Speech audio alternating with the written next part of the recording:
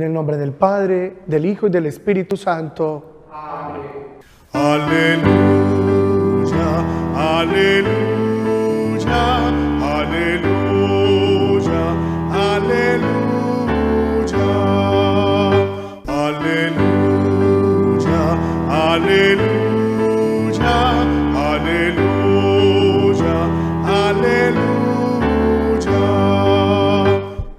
El Señor esté con ustedes.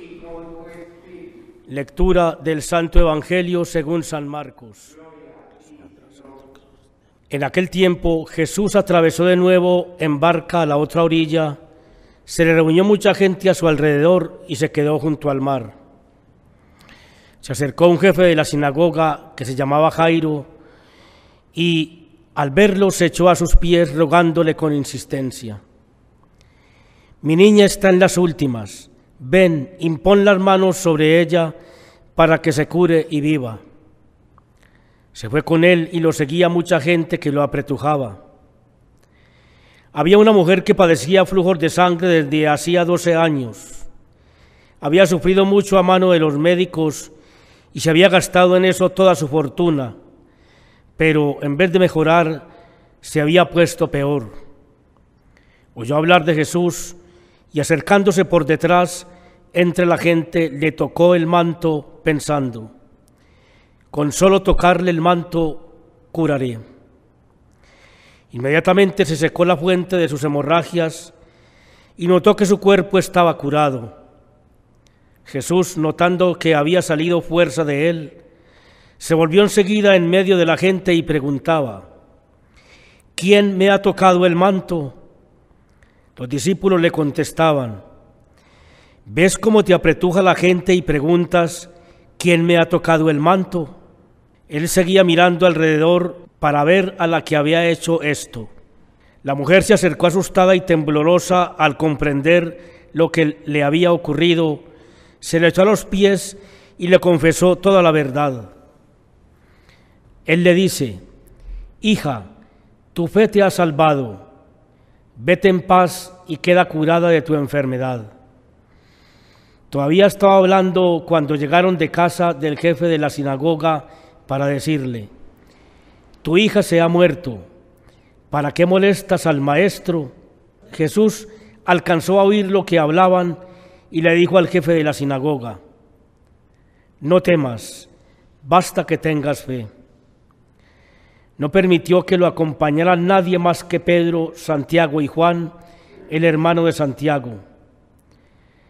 Llegan a casa del jefe de la sinagoga y encuentran el alboroto de los que lloraban y se lamentaban a gritos, y después de entrar les dijo, ¿qué estrépito y qué lloros son estos?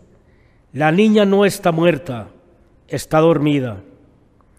Se reían de él. Pero él los echó a todos y con el padre y la madre de la niña y sus acompañantes entró donde estaba la niña, la cogió de la mano y le dijo, Talita Kumi, que significa, contigo hablo niña, levántate. La niña se levantó inmediatamente y echó a andar. Tenía doce años y quedaron fuera de sí llenos de estupor. Les insistió en que nadie se enterase y les dijo que dieran de comer a la niña. Palabra del Señor. El Evangelio nos presenta a dos mujeres en paralelo. Las dos con 12 años. La una con 12 años padeciendo una enfermedad. Y la otra 12 años por edad. Las dos con una vida destrozada. Las dos con una realidad dolorosa. Y las dos frente a alguien que las levanta, frente a alguien que las restaura, frente a alguien que las transforma. Estas dos mujeres en paralelo con la vida rota, con la vida que sufre, con la vida que no es para nada perfecta, con la vida que tiene dolor, con la vida que tiene sufrimiento. La primera, una mujer que tiene 12 años con hemorragias vive una situación dramática. ¿Por qué? Porque tengamos en cuenta, mis queridos hermanos, que la sangre en Israel era impura. La sangre de la menstruación era impura. Toda mujer que tenía menstruación no se podía acercar a nadie, y menos a un hombre, porque entonces transmitiría su impureza. Por tanto, si una mujer tiene hemorragias continuas, es continuamente qué? Impura. Esta mujer lleva entonces 12 años continuamente impura y no se puede acercar a nadie, porque si se acerca a alguien le transmite la impureza. Por lo tanto, el drama de esta mujer no es simplemente una enfermedad, no. El drama de esta mujer es que es una mujer marginada, rechazada, no querida, no aceptada. Es una mujer sin un hombre que la cuide. Es una mujer sin un hombre que la ame. No porque los hombres no sean buenos, sino porque no se pueden acercar a ella. Por tanto, es la permanentemente impura, la eternamente impura. Por eso ella se acerca por detrás a Jesús, porque no puede ir de frente. Porque si va de frente, cree que aquel que se llama Jesús le va a decir que se aparte. Por eso va por detrás, a hurtadillas. De hecho, evita tocar a Jesús y solo toca la punta del manto para no transmitirle la impureza. Y dice el Evangelio que salió de Jesús una fuerza. ¿La fuerza para qué? La fuerza para levantar a esta mujer. La fuerza para volver a vivir esta mujer. Y por eso Jesús dice, ¿quién me tocó? Entonces la mujer hace algo que lleva 12 años sin hacer. Da la cara. Se presenta de frente. Cuenta lo que ha sucedido y lo hace de frente. Y Jesús le responde. ¿Y cómo le responde? Con una bellísima palabra. Una bellísima palabra que hace de la impura, de la sucia, de la condenada, de la marginada, de la no amada, de la solitaria, de la no valorada, hija.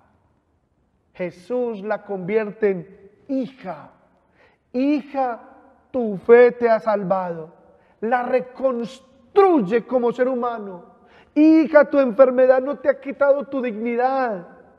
Te la ha ocultado pero tú eres hija, así que levántate a vivir. Lo mismo, hermanos, en medio del dolor descubramos nuestra dignidad. ¿Cuántos enfermos nos están viendo a esta hora?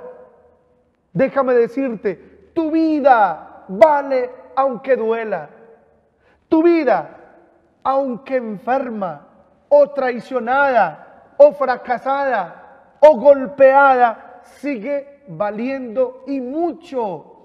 Eres hija, eres hijo y Dios te ama y Dios te puede restaurar y Dios te puede levantar.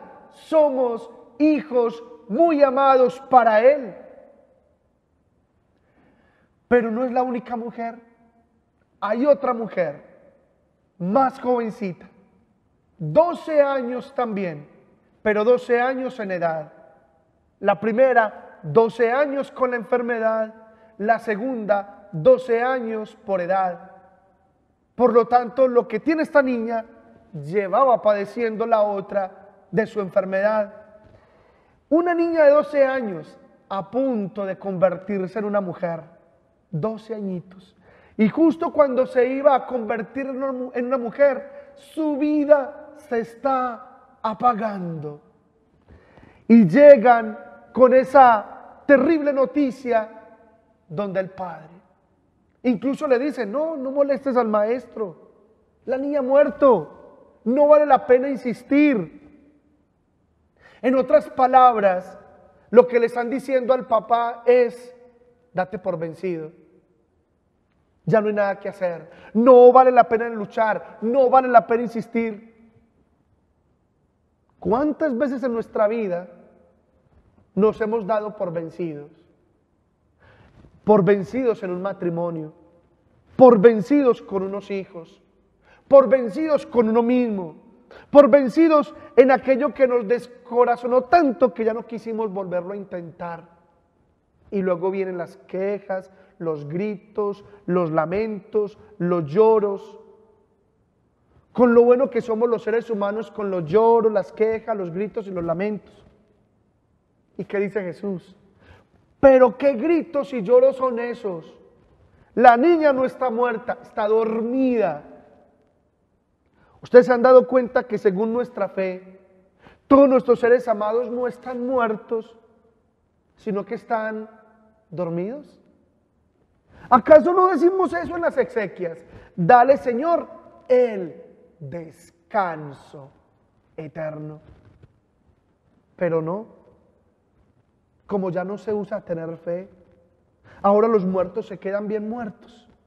Porque ya no asistimos con fe a la muerte, sino que asistimos descorazonados, con gritos, con lloros y con lamentos sin caer en la cuenta de que todos están dormidos, aguardando levantarse en la mañana de la resurrección.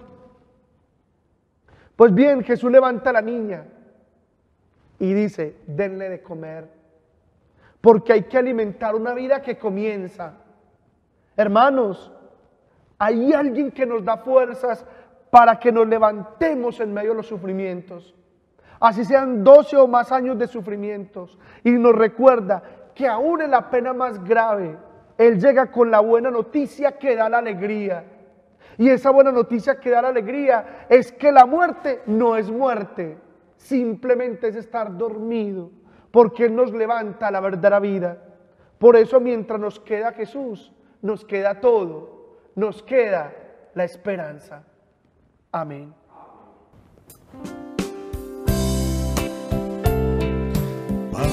Transformado en el cuerpo de Cristo, vino transformado en la sangre del Señor. Eucaristía, milagro de amor. Eucaristía, presencia del Señor. Creo, Jesús mío, que estás real y verdaderamente presente en el Santísimo Sacramento del altar. Te amo sobre todas las cosas y deseo vivamente recibirte dentro de mi alma.